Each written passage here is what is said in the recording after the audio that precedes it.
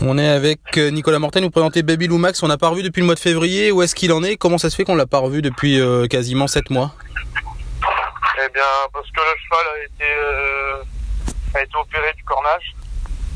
Donc il fallait quand même un long break avant de pouvoir retourner à la compétition. Donc il a eu du repos, après il a fait un peu de, piscine et puis il a retravaillé depuis un bon moment déjà.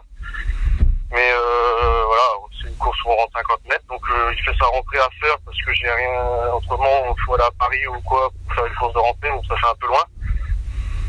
Donc on court ça, euh, voilà, on rend 50 mètres, donc euh, bon, euh, on n'y va pas avec de grosses ambitions, c'est histoire de faire euh, une remise en route.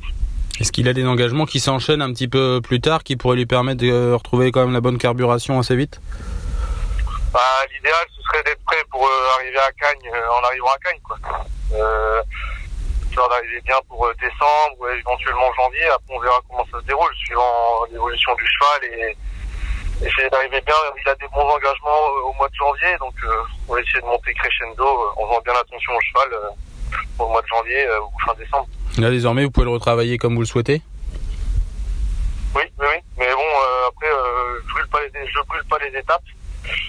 Euh, voilà, on y va gentiment euh, pour arriver euh, vraiment à, Cagnes à 100%, car c'est l'endroit où il, à chaque fois il fait le mieux. Euh, c'est une piste qu'il apprécie beaucoup, et puis il aura, c'est là-bas qu'il aura beaucoup d'engagements à suivre ou qui, qui seront bons pour lui, quoi.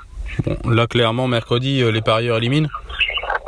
Pour à 50 mètres, une course de rentrée après une longue absence, ouais, je pense que on ne va pas compter sur lui pour jouer des, les premiers rôles.